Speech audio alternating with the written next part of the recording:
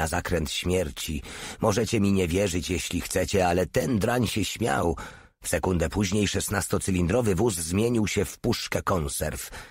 Ocknąłem się w szpitalu za murem z gipsu pod opieką cudownej dziewczyny. Tyle tylko wam powiem. W dwa miesiące później wyszedłem ze szpitala i zameldowałem się w sztabie głównym, ale powiedziano mi, że mam dziesięć minut na to, by zniknąć. Mój general feldmarszal był ciągle jeszcze obmurowany gipsem, przynajmniej taką mam nadzieję. Wtedy dostałem się pod komendę general Obersta Lindemana, specjalisty od egzekucji. Spacerowałem w mundurze spadochroniarza z odznaką na piersi. Pewien feldwebel, który dobrze znał Lindemana, opowiedział mi taką historię. W 1936 odbyła się wielka parada nowej armii niemieckiej. Kiedy korpus, którym niegdyś dowodził generał, przedefilował przed nim, Lindemann zaczął płakać, pomyślawszy o wszystkich, którzy padli pod Verdun i nad Sommą. Wyobraził sobie, że paradują przed nim trupy w szarych mundurach – bardzo dziwni są ci wyżsi oficerowie, trudno ich zrozumieć. Ja też byłem w sztabie głównym, zapewnił nagle mały ku zdumieniu wszystkich obecnych. Może byłeś szefem sztabu głównego? zapytał Porta, wybuchając śmiechem. Chcesz poczuć moją pięść na pysku? Kiedy mówię, że byłem w sztabie głównym, to jest prawda. Jako ordynans generała kawalerii Knochenhauera. Nie żyje, popełnił samobójstwo, ale trzeba przyznać, że był odważny, ocalił mi skórę. Byłem wówczas w piętnastym pułku pancernym w żaganiu. Pewnego dnia spadłem z czołgu i zaczepiłem się o gąsienicę. Rozcięło mi but na pół. Następnego dnia poszedłem do lekarza i powiedziałem, że nie mam już stopy. Ten lekarz nie znosił chorych żołnierzy. Opowiadano, że już dwóch facetów przez niego zdechło. Jeden powiedział, że ma dyfteryt, ale trzeba było wymyślić coś lepszego, by oszukać tego rzeźnika. Skończyło się na tym, że przez trzy dni męczył człowieka z dyfterytem, dając mu lewatywy z oleju rycynowego. Gościu zgłosił się jako wyleczony, ale był tak uparty, że zdechł podczas musztry porannej. Drugi był wojskowym kutasem, który zgłosił się jako chory w poniedziałek rano. Równie prawdopodobne jak twierdzenie, że można usmażyć jajka na gołych pośladkach, nawet mając czterdzieści stopni gorączki. Wszyscy źle się czują w poniedziałek rano, nawet Rockefeller, nieprawdaż? A więc ten wojskowy kutas wybrał sobie zapalenie wyrostka robaczkowego. Grabarz mu wepchnął trzy termometry, jeden pod pachę, drugi w usta, trzeci do dziury w dupie – ale ku wielkiemu rozczarowaniu lekarza chłop miał rzeczywiście gorączkę. Przyznaj się, ile zjadłeś kostek cukru z benzyną. Żołnierz upierał się, że go boli. Wtedy lekarz wpadł we wściekłość i zagroził mu sądem wojennym. Ale symulator zachował się tak dobrze, że coś mu pękło w brzuchu i zdechł w obecności wszystkich. Sanitariusz z izby opatrunkowej odradził mi odwiedziny z moją nogą u dostawcy krematorium. Zaproponował, że ją zajodynuje i da mi trzy dni służby wewnątrz koszar z prawem do przedłużenia jeszcze o dwa. Ale tak mnie bolało i do tego stopa nabierała dziwnych kolorów, że wolałem pójść do rzeźnika. Ojej, gdybym mógł przewidzieć skutek, nigdy bym mu nie pokazał mojego kopyta. Tego samego wieczoru siedziałem w areszcie z oskarżeniem o symulację, ale dwaj strażnicy z korytarza byli moimi kumplami pułkowymi i dali mi nielegalnie chleba. Następnie miałem tyle szczęścia, że mnie przydzielono do obierania ziemniaków. Mając taką posadę, można uniknąć udziału w trzech wojnach światowych. Na nieszczęście moja noga zaczęła robić się zdrowsza, a to było bardzo przykre, bo w dniu sądu wojennego nie miałem nic do pokazania. Wszystko poszło galopem. Wysłano mnie do Torgał, gdzie mnie umieszczono w błękitnym skrzydle u żelaznego Gustawa. W dniu, w którym, jak sobie wyliczyłem, mieli mnie rozstrzelać, Gustaw wszedł do mojej celi i kazał mi pakować manatki.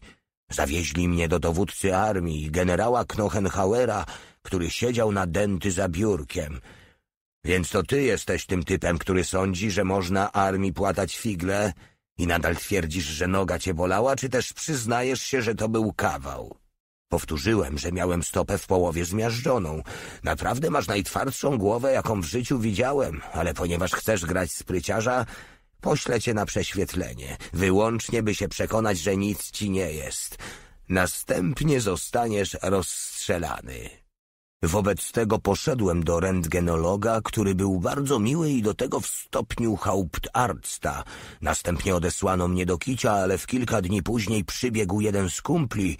Jesteś wolny, za godzinę masz się zameldować u dowódcy armii w stroju polowym. Zameldowałem się w kompanii sztabowej, gdzie adiutant obejrzał wszystkie moje butonierki, następnie w pułku, dalej w dywizji, gdzie jej szef sztabu, oberst badenski, obszukał mnie od stóp do głów. Nagle zauważył, że nie mam sznurka strzelca wyborowego, natomiast mam skarpetki SS z dwoma białymi prążkami u góry. Na skarpetkach armii było ich trzy. Błyskawicznie zawrócono mnie do magazynu, gdzie wypożyczono parę skarpetek z trzema prążkami. Z dywizji przepędzono mnie do korpusu armijnego, gdzie generał Lubkę znów obejrzał mnie od stóp do głów, krytykując wszystko, co ze mną zrobiono. Ale nie było już czasu, by cokolwiek zmienić. W końcu zameldowałem się generałowi Ktochenhauerowi, strzelając obcasami z taką energią, że słychać to było w całym dziesiątym korpusie armijnym. Jak sądzicie, kto pojawił się we drzwiach? Miły Hauptarzt ze wszystkimi moimi portretami rentgenowskimi – Oświadczył, że miałem złamaną kość stopy i że nie byłem symulantem. Major, który mnie wysłał przed sąd wojenny, był już w drodze na front z Naganą. Generał Knochenhauer wziął mnie jako ochroniarza i dał mi dwóch niewolników do grubszych robót. Mogę więc powiedzieć, że naprawdę ocalił mi skórę. Czy zauważyliście, powiedział Porta, że oficer zmienia się całkowicie po przejechaniu zakrętu na stopień majora? Gębę ma bardziej ściśniętą jak damskie majtki numer 38 na dupie 46 i nastawia uszu jak rozzłoszczony koń. Następnie, gdy z pułkownika staje się generałem brygady i otrzymuje czerwone lampasy, staje się znów całkiem inny. Własna matka by go nie poznała, jego oczy nie są już oczami, lecz lampami rentgenowskimi, a na śmierć skazuje tak, jakby mówił dzień dobry po zjedzeniu talerza kapusty kiszonej. Można się założyć, że srać chodzi też w inny sposób. W tym momencie na całej pozycji rozległo się alarm, alarm, ruscy nadchodzą. Umiłowanie wolności nie zakiełkowało w Niemczech. Pani de Stel 1820. 8 listopada 1942 ochrypły i brutalny głos, powtarzany przez miliony głośników, rozległ się w całej Europie. To Adolf Hitler przemawiał z Burgerbraukeller w Monachium. Jeśli Stalin oczekiwał, że go zaatakuje w centrum frontu, to spotkało go wielkie rozczarowanie. Nigdy nie myślałem o ataku w centrum, chciałem dotrzeć do Wołgi i dotarłem. Zostało to dokonane w określonym miejscu, które przypadkowo nosi imię Stalina. Głośniki bliskie były wybuchły od wściekłych okrzyków słuchaczy. Sieg Heil, Sieg Heil! Chciałem więc jakiegoś miasta na brzegu Wołgi. To miasto jest nasze, nie pozostaje nam nic więcej niż zdobyć parę enklaw. Nowe, ogłuszające oklaski. Ze wszystkich gardeł rozległy się dźwięki Deutschland über alles. W dziesięć dni później naczelny dowódca szóstej armii otrzymał ze sztabu głównego następujący telegram. Szósta armia otrzymuje rozkaz opuszczenia samego Stalingradu i okopania się w miejscu, które od tej chwili nosi nazwę Forteca Stalingradzka. Rozkazuje bić się do ostatniego człowieka i ostatniego naboju. Żadna kapitulacja nie wchodzi w grę. Ten, kto bez rozkazu skapituluje lub opuści fortecę, zostanie uznany za zdrajcę. Oczekuje, że szósta armia i jej dowódcy będą się bić jak wagnerowscy bohaterowie. Adolf Hitler Rozdział dziewiąty Zdrajcy we wspaniałą styczniową niedzielę nad Stalingradem, tym zdumiewającym miastem półorientalnym i półeuropejskim, stało błękitne niebo bez chmurki. Tysiące Niemców, Węgrów, Włochów, Rumunów oraz Słowaków tłoczyło się na ulicach z kobietami uczepionymi ich rąk. Wszędzie panował taki spokój, iż można było pomyśleć, że jest się w mieście garnizonowym. Walki szalały bardziej na północ, ale w samym Stalingradzie nic nie było słychać. W domu naprzeciw wysp sieroińskich odbywało się tajne zebranie oficerów. Byli to oficerowie dywizji wiedeńskiej, co do jednego Austriacy. Przeklęty niech będzie dzień, w którym najechali nas żołnierze Hitlera. Tęsknota ogarnia do starego cesarstwa austro-węgierskiego. Generał major Lenz opróżnił dziesiąty kielich szampana. Nigdy nie lubiłem Prusaków oświadczył w dialekcie wiedeńskim. On i jego towarzysze wyraźnie zapomnieli, jaki panował entuzjazm, gdy w 1938 roku zmieniali swe jasnoszare mundury austriackie na niemieckie Feldgrau. Zapomnieli, że marzyli o nowym państwie w Wielkich Niemczech. Nie kłopotali się też przypominaniem, z jakim rozbawieniem sporządzali listy ludzi, którzy nie mieli czystej rasy lub zdawali się politycznie wątpliwi. Ależ z całą pewnością robili to pod przymusem, jakże inaczej mogliby to robić. Dlatego wszyscy w Austrii rzucili się, by pomagać zwycięzcom, nawet czerwoni, którzy śpiewali Dziś należą do nas Niemcy, jutro cały świat. Generał Taurok rozłożył więc na stole mapę sztabową. Panowie, sytuacja w Stalingradzie jest rozpaczliwa. Armia Hocha, która miała nam pomóc, została pobita pod Kotielnikowem. Wieści dotyczące przybycia całej jednej armii SS są czystą fantazją. Oczekujemy, że wkrótce zostaną nam przyznane racje frontowe, a wtedy zacznie się głód. Jedyną naszą nadzieją pozostają Rosjanie. Uderzył pięścią w dwie teczki wypchane dokumentami. Mam tu wszystkie plany naszych pozycji obronnych. Jeśli Rosjanie dostaną je do ręki, będzie im bardzo łatwo przełamać linię dzięki naszej współpracy. Można przewidywać, że nasz gest zapewni nam przyzwoite traktowanie i bardzo bym się zdziwił, gdyby Rosjanie nie potrzebowali ludzi takich jak my przeciw zarazie hitlerowskiej. Antynazistowskie nastroje Tauroga nie przeszkadzały mu w podpisywaniu od czasu do czasu paru rozkazów egzekucji dezertujących żołnierzy – Trzeba, by te papiery dotarły do generała Rokossowskiego, zawołał generał major Lenz.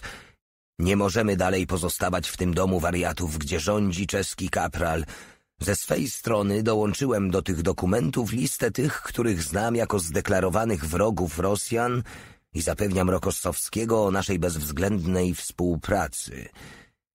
Generał major Lenz także zapomniał, że sam kazał w Sewastopolu zgromadzić osiem tysięcy rosyjskich kobiet, by je wysłać do niemieckich obozów koncentracyjnych. Przemilczał także, że Taurok miał w swej posiadłości w Dolnej Austrii trzydziestu pięciu polskich niewolników, kupowanych po pięćdziesiąt marek za sztukę. Kurs wynosił trzydzieści pięć marek za Rosjanina w dobrym stanie, ale trzeba było do tego doliczyć napiwek dla strażnika obozowego – na koniec nie wspomniano też, że oberst Kurz z wiedeńskiej dywizji niedawno kazał rozstrzelać 476 jeńców rosyjskich w obozie w Karpowce za kradzież ziemniaków. Ale ci panowie uważali się za zbyt dystyngowanych, by osobiście wykonywać swą brudną robotę zdrajców, która miała kosztować życie tysięcy żołnierzy. Zadanie powierzono więc pewnemu feldweblowi żandarmerii. Ten Judasz Stalingradu odjechał w eleganckim czarnym Mercedesie i został zaopatrzony w przepustkę otwierającą mu wszelkie zapory na drodze. Rzeczywiście nikt nie podejrzewał wielkiej limuzyny sztabowej, ale o trzy kilometry na północ od Karszlinskoj wpadli na drużynę zwiadu rosyjskiego, która pomimo białej flagi zaczęła rabować wszystko, co było do zrabowania w samochodzie, poczynając od zegarków. W końcu pojawił się lejtnant mówiący po niemiecku i zaprowadził dwóch zdrajców do dywizji rosyjskiej Włosnoj, gdzie zostali przesłuchani przez czterech oficerów sztabowych. Pomimo dokumentów Rosjanie podejrzewali pułapkę. Tego rodzaju sprawa, oświadczyli, kosztowałaby Niemców tysiące poległych. Trzeba koniecznie, aby jedni zapłacili za to, by inni mogli żyć, powiedział Austriak z uśmiechem tak cynicznym, że nawet rosyjscy oficerowie wstrząsnęli się z obrzydzenia. Ale ten uśmiech równocześnie ich uspokoił. Ludzi takich jak ten Feldwebel Braun znali też wśród własnych. Dopiero starannie zbadawszy dokumenty i porównawszy je z własnymi informacjami, wysłali zdrajców do generała Rokosowskiego w Aleksandrownej, gdzie znajdował się także marszałek Jeremienko. Ustalono sygnał. Jeśli Rosjanie zgadzają się na transakcję, samolot wystrzeli zielone pociski smugowe. Oficerowie odpowiedzą dwiema rakietami, czerwoną i żółtą. Otrzymawszy taką odpowiedź, Braun i jego akolita powrócili na linie niemieckie, gdzie Taurok powitał ich jak synów marnotrawnych. Nazajutrz o godzinie 17.00 samolot Iliuszyn wysłał nad Stalingradem umówiony sygnał i Rosjanie próbowali przełamać front na odcinku trzeciej dywizji zmotoryzowanej, by natrzeć z flanki i zwinąć 24. dywizję pancerną i 60. dywizję zmotoryzowaną. Koło Dubowki generał Wasilewski zgromadził do natarcia trzy tysiące czołgów, za nimi miało pójść sześćdziesiąt tysięcy kozaków, gdyż oceniono, że zwykła piechota jest zbyt powolna. Dywizje zmotoryzowane trzeciej Armii Gwardyjskiej miały powstrzymać Niemców wzdłuż Wołgi. Sześć dywizji piechoty i jedna pancerna liczyły łącznie sto tysięcy ludzi. W tym momencie zdrajcy dokonywali ostatnich posunięć swego planu. Generał Taurok zgromadził swych żandarmów, personel więzień, personel sanitarny oraz jeńców i wszystkich uzbrajał, aby strzelali w plecy oddziałom niemieckim, gdy nastąpi rosyjski atak. Ale przeznaczenie chciałoby wszystko potoczyło się inaczej. Oberleutnant Hince z setnej dywizji strzelców nagle poczuł takie wyrzuty sumienia, że poszedł się wyspowiadać do kapelana – ten pełen przerażenia i wykonując tylko swój żołnierski obowiązek pospieszył do dowódcy 16 Dywizji Pancernej, generała Latmana, który kazał aresztować oberstleutnanta. Już przy pierwszym przesłuchaniu Hince ujawnił nazwiska wszystkich swych wspólników. Generał Taurok i generał Lenz zostali powieszeni w bazylice w Aleksandrze, Pozostałych rozstrzelano na środku ulicy i na każdym trupie przyczepiono wywieszkę Jestem zdrajcą, który spiskował na rzecz Rosjan. Nazajutrz ofensywa rosyjska zaczęła się od artyleryjskiej zapory ogniowej o takiej sile, jakiej jeszcze nigdy nie widzieliśmy. Niebo, ziemia, rzeka, wszystko płonęło. Trzecia dywizja zmotoryzowana została zniszczona w ciągu jednej godziny. Jeden z pułków piechoty wraz ze swą artylerią został zmieciony z powierzchni ziemi. Ludzie, powyrzuceni eksplozjami z bunkrów i okopów, byli zamiatani po śniegu jak liście przez burzę. Niektórzy, straciwszy zmysły, wyli i łukali. Stal i dym dosłownie wyskakiwały z przeoranej ziemi. Trwało bombardowanie tak przeraźliwe, że wydawało się niemożliwe, by je przeżyć, a przecież byliśmy przy życiu, gdy nadeszły czołgi, a za nimi hordy kozaków wyjących i wymachujących szablami. Szesnasta dywizja przeszkodziła okropnemu klinowi rosyjskiemu w przedostaniu się do Stalingradu. Porta Mały i ja leżeliśmy w rowie wśród setek skrwawionych trupów, które żołnierze chowali w chwili, gdy natarcie się zaczęło. Przez całą noc leżeliśmy, słysząc skrzypiące gąsienice i galopujące konie. Nie było trudno upodobnić się do martwych, do tego stopnia trupy oblały nas krwią. Dopiero nazajutrz po południu, gdy znów zapanowała cisza, wróciliśmy na drogę do Stalingradu. Jeniec rosyjski, który udawał martwego równocześnie z nami, odmówił opuszczenia nas – Powiedzieliśmy mu, żeby zmykał do własnych linii, ale absolutnie nie chciał się na to zgodzić. Jeśli wrócę, rozstrzelają mnie. Jest zabronione dać się wziąć do niewoli, powiedział towarzysz Stalin. On jest dupkiem, orzekł Porta. Rosjanin nie zaprzeczył. Jak okiem sięgnąć zamarznięte trupy, porozbijane samochody, poprzewracane działa, zaopatrzenie spopielone, mundury, broń. W jednym z pospiesznie porzuconych biur znaleźliśmy maszyny do pisania w liczbie dostatecznej, by w nie zaopatrzyć załogę wielkiej fabryki. Było tam wszystko. Wszystko. Odzież zimowa, nowiuteńkie futra, filcowe buty, benzyna, broń. Nie wierzyliśmy własnym oczom. W tym okresie brak nam było nawet tego, co absolutnie niezbędne. Prawie trzeba było prosić o zezwolenie na strzał z karabinu, a tutaj zaopatrzenia było po gardło przez głupotę. Zawsze praktyczny Porta zamienił swą rojącą się od robactwa odzież na nową i na białe futro. Zaproponowaliśmy je także rosyjskiemu jeńcowi, ale jego morale upadło tak nisko, że wolał nieustannie jęczeć, że zostanie rozstrzelany przez swoich i że chciałby, aby forteca stalingradzka trzymała się jeszcze przez sto lat. Tego nie mogliśmy mu obiecać. O zmroku wszyscy czterej daliśmy dyla, a Porta załatwił zapisanie nas do szpitala polowego tak napchanego, że nawet pułk gestapo nie mógłby się tam połapać. Ale trzeciego dnia wszystko się popsuło. Porta został przyłapany na gorącym uczynku plądrowania i zamknięto go w oczekiwaniu na sąd wojenny w piwnicy strzeżonej przez starego sanitariusza. Tej samej nocy mały udusił głupiego sanitariusza, który próbował przeszkodzić porcie w ucieczce, a my rzuciliśmy się do najbliższego lasu. Pewien współczujący kapelan zabrał nas do swojej amfibii, ale pogoń deptała nam po piętach i ksiądz, który nie potrafił dość szybko wysiąść, został zabity. W chwilę później zmotoryzowany patrol żandarmerii zatrzymał nas jako dezerterów.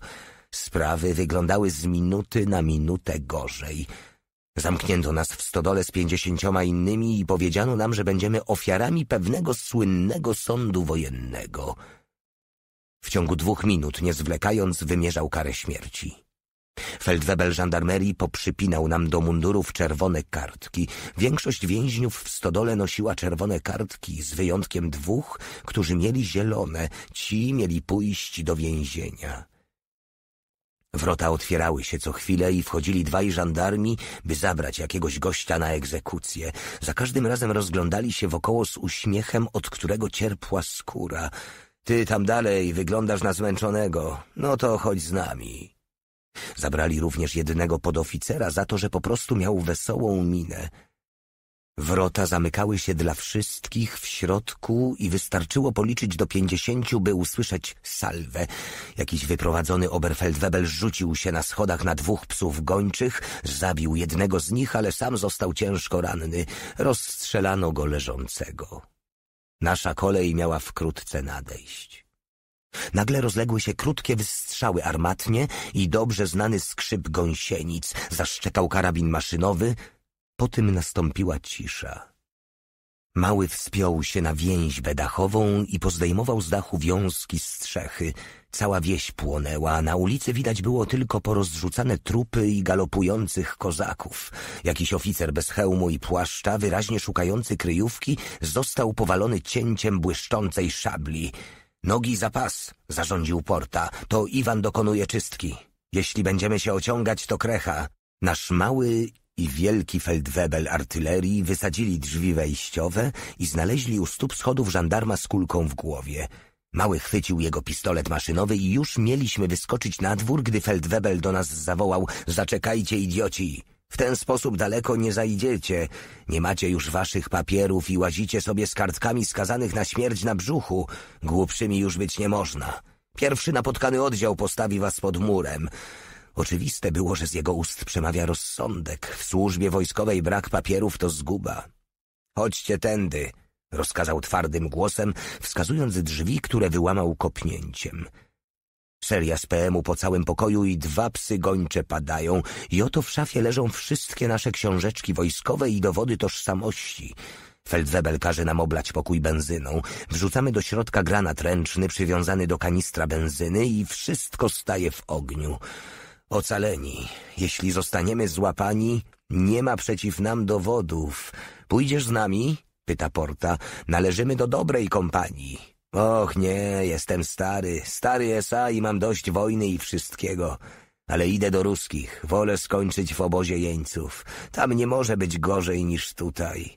Rozstrzelają cię, mój stary, albo będą cię ciągnąć za koniem przywiązanego do ogona. Widziałem już, jak to robią. Trzeba trochę poczekać, aż się uspokoi. Życie jeńca zawsze jest podczas wojny miłym okresem. To twoja broszka, rzekł z namysłem Porta. Ja też wyglądam okazji do ucieczki na zachód od Donu. Ależ to, zawołałem, wierz mi, nigdy nie nastąpi. Nim przejdą dwadzieścia cztery godziny, zamarzniesz na stepie. Nawet wilk teraz tam nie chodzi.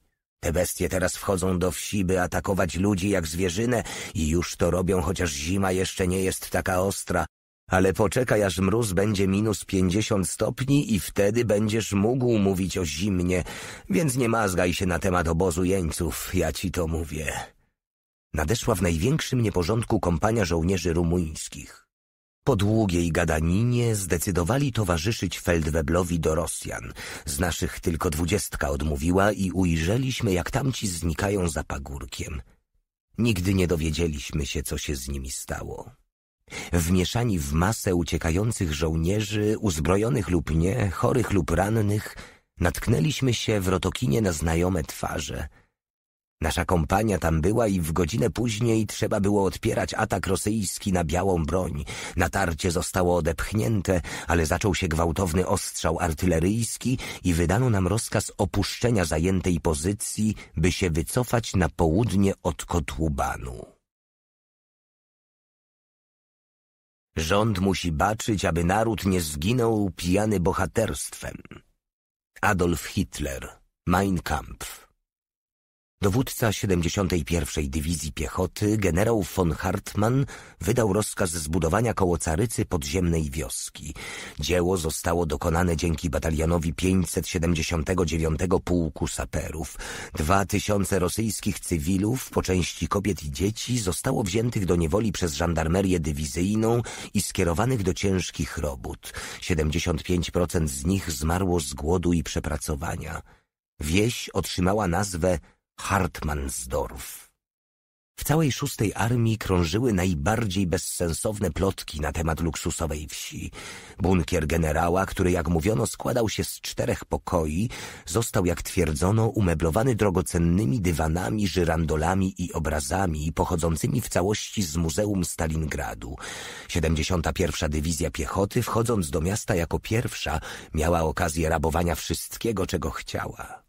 W podziemnej wsi można też było ujrzeć młyn z dwoma silosami na ziarno, gospodarstwo drobiarskie zawierające sześć tysięcy kur, oborę z tysiącem dwustu trzydziestoma pięcioma krowami, mleczarnie i piekarnie, prócz tego stajnie na sto trzydzieści osiem rosyjskich koni czystej krwi. Każdego ranka generał i jego sztab dosiadali koni na przejażdżkę w okolicach Carycy. Gdy żołnierze, ciężko ranni lub umierający z głodu i tyfusu docierali do miasta, nie wierzyli własnym oczom. Taki stan rzeczy trwał do połowy stycznia 1943, ale do tej pory 71. Dywizja stopniała jak masło na patelni i to właśnie w tym momencie generał Hartmann zdecydował dokonać natarcia na pozycje rosyjskie. Nie jego obciążała odpowiedzialność za tylu zabitych, lecz rozkazy, które otrzymał z góry. Generał dywizji, oświadczył Hartmann, jest tylko pionkiem w wielkiej grze. Rozdział dziesiąty Samobójstwo generałów Hauptmann Glaser dał im znak, by podeszli, choć były rozkazy strzelania do parlamentariuszy rosyjskich. Major rosyjski z dwoma podoficerami po bokach był człowiekiem wysokim na dwa metry. Żółte galony na jego piersi lśniły w zimowym słońcu, twarz zdawał się mieć stalową, a jego niebieskie oczy były równie bezlitosne jak rosyjska zima. Jeden z podoficerów cisnął nam biały worek wypełniony żywnością. Prezent od rosyjskiej trzeciej gwardyjskiej dywizji pancernej. Mam rozkaz, by zaproponować wam kapitulację. Ta propozycja ważna jest do godziny osiemnastej. W razie jej odrzucenia masowe natarcie wspierane przez czołgi nastąpi około północy. Rozumie pan, Herr Hauptmann, co to oznacza? Nie tylko Hauptmann rozumiał sens tych słów, ale i my wszyscy. Zresztą nie było to zbyt trudne. Od wybicia północy nie będziemy już brali jeńców i nikt już nie będzie mógł mieć nadziei na poddanie się, dodał z uśmiechem major.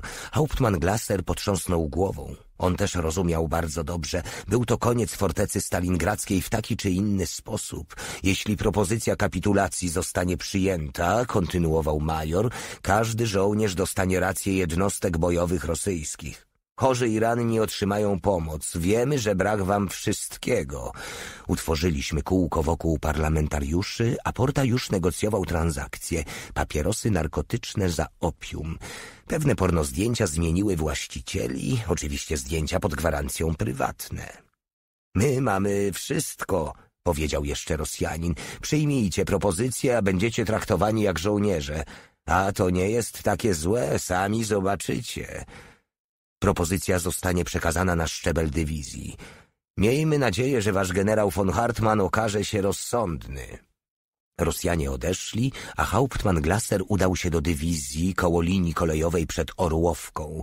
Wokół stołu z heblowanych desek zasiadała grupa generałów. Generał Pfeffer, generał von Hartmann dowodzący 71. Dywizją Piechoty, popędliwy generał Stempel dowodzący 176. Dywizją Piechoty i oberst Krome, szef sztabu czwartego Korpusu Armijnego. W moim przekonaniu, oświadczył generał von Hartmann, my, oficerowie niemieccy, mamy tylko jeden obowiązek. Trwać aż do końca, a potem popełnić samobójstwo. To byłby bardzo piękny koniec. A co z żołnierzami, za których jesteśmy odpowiedzialni? Zapytał oberst Krome, który mając osiemnaście lat zdobył gwiazdki oberleutnanta pod Arras na czele drużyny szturmowej. Miał na szyi wstęgę pour le mérite, a cztery szeregi odznaczeń zdobiły mu pierś. A nasi żołnierze, pytał uparcie, gdyby obecni tam generałowie mieli jakieś wątpliwości co do jego myśli, powinien był zostać na miejscu rozstrzelany. Krome, odezwał się generał Pfeffer, my, dowódcy, nie mamy prawa myśleć o żołnierzach, ale jestem przeciw samobójstwu. Nie pomylcie się,